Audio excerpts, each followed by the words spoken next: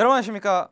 카레는 3분, 토익은 5분, 광태계 씨 주주입니다. 자, 오늘의 마지막 5분 토익은 바로 여기 있습니다. 평서문의 특징. 여러분 혹시 평서문에 대해서 한번 파트 2를 풀 때 시중 교재를 한번 보십시오. 아, 이렇게 많이 나와 있거든요. 평서문은 딱히 대답할 말이 없다. 그러므로 수험자는 신중하게 들어야 한다. 저는 가끔 이런 생각을 합니다. 혹시 그게 농담이지 않을까? 그동안 그러면 신중하게 안 들어서 우리가 틀렸을까? 자, 소개합니다. 분석 들어가겠습니다. 자, 이런 게 평서문이죠. 나 오늘 소개팅 있어 이런 겁니다. 예, 농담입니다. 저 없습니다. 외로워 죽겠습니다. 자, 그런데 사람이 보통 말을 저렇게 했을 때 거기다가 대답을 하기가 애매합니다. 질문이 아니니까요. 그러면 인간 휴먼 비잉으로서 우리가 뭘 합니까? 반응을 해주죠. 반응. 여러분은 뭐라고 하겠습니까? 아, 예컨대 이런 거죠. 대답 첫 번째. 어, 누군데 사진 있어? 관상 좀 보자. 이런 거고요. 두 번째. 대박 좋겠다. 잘하고 와. 라든가 세 번째. 너 백화점부터 가야 돼. 보니까 이제 애가 꼬라지가 말이 아닌 거죠. 자, 이런 식으로 들어가는 게 보통 평서문 대답 형태입니다. 그래서 이거를 구체화시키자면 첫 번째는 다시 물어본다. 두 번째는 동조한다. 세 번째는 제안을 하거나 해결책을 던진다. 정도가 평서문의 실제 대답 형태입니다. 자, 그리고 평소의 답변 타입을 영어화 시킨 바로 이렇습니다. 1번은 그냥 질문으로 물어보는 그런 보기가 들었을 때 거의 정답의 확률이 높고요. 두 번째는 really? Sure? Of course. Yeah, right. So, to 말을 so나 to로 끝나는 경우 있죠. I think so, me too 이런 거 그런 게 들어갔을 때 바로 정답 확률이 훨씬 더 높다 이런 얘기입니다.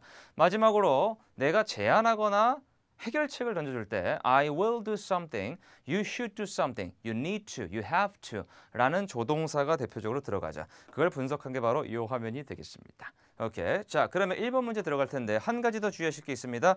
평서문은 사람이 그냥 자기 의견을 얘기를 하는 거기 때문에 거기다가 단어로만 딱 얘기를 할 수는 없습니다. 그렇죠? 오늘 날씨 좋다. 우산. 이럴 수 없거든요. 오늘 날씨 좋다. 우산은 필요 없겠네. 즉 대답이 문장이어야 된다는 특징이 있죠. 오케이? 자, 1번 문제 들어갑니다. Number 1. Our coffee makers are perfect for offices. A. How much do they cost? B. Two copies, please. C. About 10%. 네, 자 보셨습니까? 첫 번째입니다. 정답은 여기입니다. A번이요. Our coffee makers are perfect for offices. 오케이? 우리의 커피 만드는 이 기계 커피 메이커는요. 어, 사무실에 굉장히 좋습니다. 최고입니다라고 광고를 하고 있지 않습니까? 저기다가 할 수 있는 말은 사실은 다시 물어본다가 제일 좋죠. 거기다 대고 동조하면 소비자로서 약간 좀 자존심 상하지 않습니까? 맞아요, 맞아요. 그런 것 같아요. 바로 사고 싶어요. 백. 자, 그런 거 말고 A번처럼 How much do they cost? 그럼 얼마인데요? 정도가 현명한 소비자겠죠. 두 번째, two copies please. 두장 부탁합니다. 바보 녀석. 자, 카피와 커피라는 발음을 반복시킨 아주 유치한 90년대 감성이 되겠습니다. 10번 보시면 about 10% 제가 그랬죠. 아니 어떻게 자기가 그냥 말을 한 거에 문장이 아닌 이런 형태를 가지고 정답을 붙이냐. 결국 문장이 아닌 녀석들은 평서문에는 절대 오답이다라는 이런 아주 엄청난 점을 잘 기억하시기 바랍니다. 광. 자, 그리고 2번 문제 바로 들어가겠습니다. Number 2. Please take a copy of our brochure. A. I already have one, thanks. B. Yes, it's blocked. C. No, on the chair. 그래요 여러분. 여기 보시죠. 자 먼저 평서문이죠. 다시 한번. Please take a copy of our brochure. 우리 브로셔 하나 가져가세요. 이렇게요. 명동이나 홍대 같은 데 가보면 이런 분들이 많습니다. 이렇게 나눠줍니다. 이렇게. 자자 자 이렇게요. 어, 시험에는 착한 사람들이 많이 나옵니다. 그래서 보통 이렇게 대답하죠. I already have one, thanks. 저는 이미 하나 가지고 있습니다. 감사합니다. 라고 하고 자기 갈 길을 가는 겁니다. 실제 여러분 모습과 많이 다르죠? 됐어. 싫어. 싫어. 이런 모습과. 그리고 비번해 보시면 Yes, it's blocked. 그래요. 그것은 막혔습니다. 자 그건 뭘까요 지네 집 화장실일까요? 오케이. 시험 보시죠. No on the chair. 문제가 두 가지입니다. 여기 보시면 문장이 아닙니다. 평서문의 문장이 아닌 녀석은 오답이라고 그랬습니다. 그런데 더군다나 앞에 no라고 하지 않습니까? 평서문에 no라고 하는 사람은 매우 예의가 없는 사람입니다. 예컨대 오늘 날씨가 참 좋아 이런 게 평서문인데 거기다 대고 아니야 아니야 아닌데 나는 안 좋은데 안 좋은데 이런 게 바로 no 개념이란 말이죠.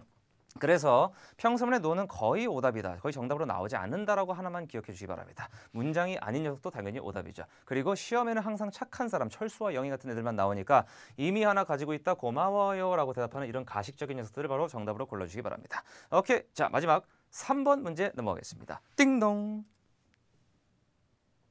Number 3. That applicant did a lot of research on our company before her interview. A. I reviewed dozens of resumes. B.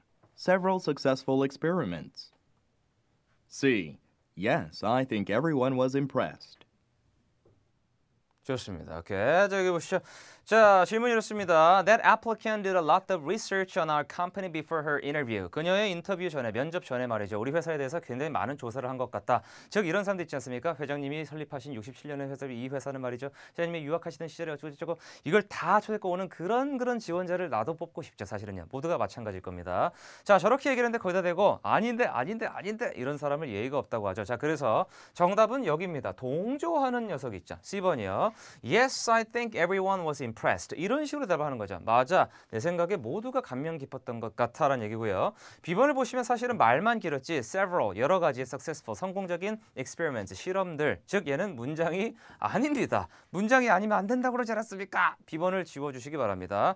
A번 보시죠. I reviewed dozens of resumes. 나는 이력서를 12개 정도 검토했네. 어쩌라고요? 자, 그래서 A랑, A랑 C 중에 비교 우위를 찾으신다면 평서문의 답변으로는 적절한 게 뭐다? 바로 동조를 해준다. 바로 이런 녀석이 들어가 있는 게 정답이 되겠죠. 그래서 마지막 꿀팁을 드리면 여러분이 이렇게 생각하시면 됩니다. 평서문에 주로 다시 물어보거나 동조하거나 제안이나 해결책을 던져주는 게 정답입니다. 그러면 문장이 아닌 애 까고 문장이 아닌 애 까고 그 다음에 yes나 no 중에 no는 오답이고 yes는 정답일 가능성이 높고 이 정도만 생각해 주셔도 기존의 평소문을 계속 찍던 사람들에게는 한 줄기 빛과 같을 겁니다. 광토의 개시 주지였습니다. 감사합니다.